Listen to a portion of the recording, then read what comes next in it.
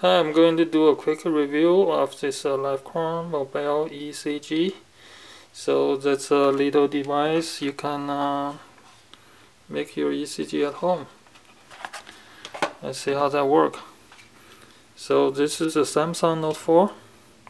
So I put this uh, on the back like this and hold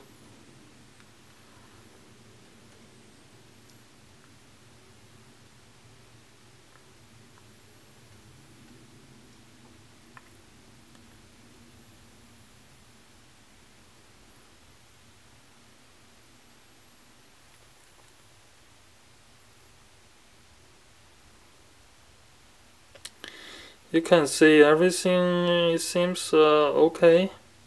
Not perfect but it's okay.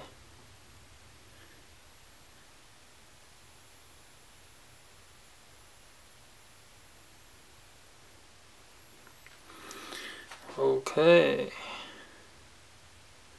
Let's save this.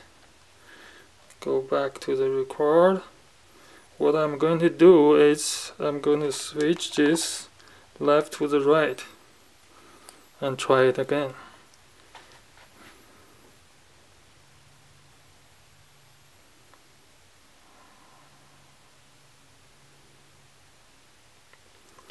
You see now everything is not okay.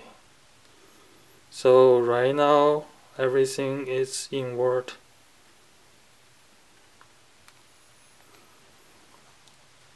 Let's save this then I can tell you the detail. So this is the second one. I'll show you this one.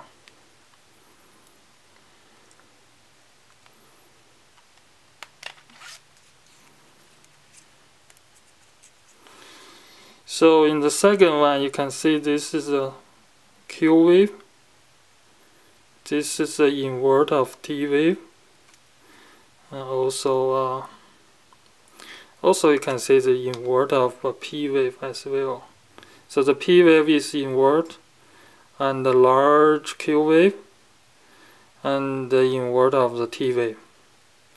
So you can you can see pretty much all over this it's like an invert everywhere.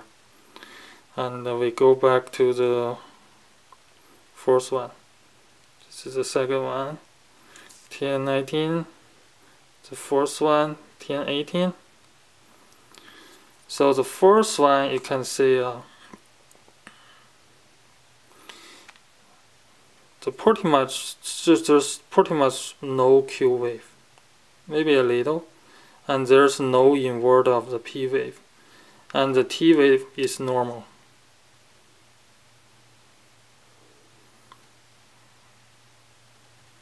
Right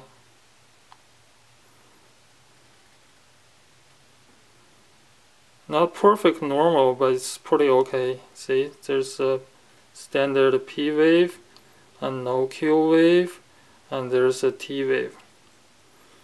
So that that's that's when you turn it's over and you got completely different result. And I contact your customer service. The answer I got is, uh, you know, put some lotion in my hand. That's a dumb dumb answer. they have no idea how the equipment work. Okay, this is my quick review.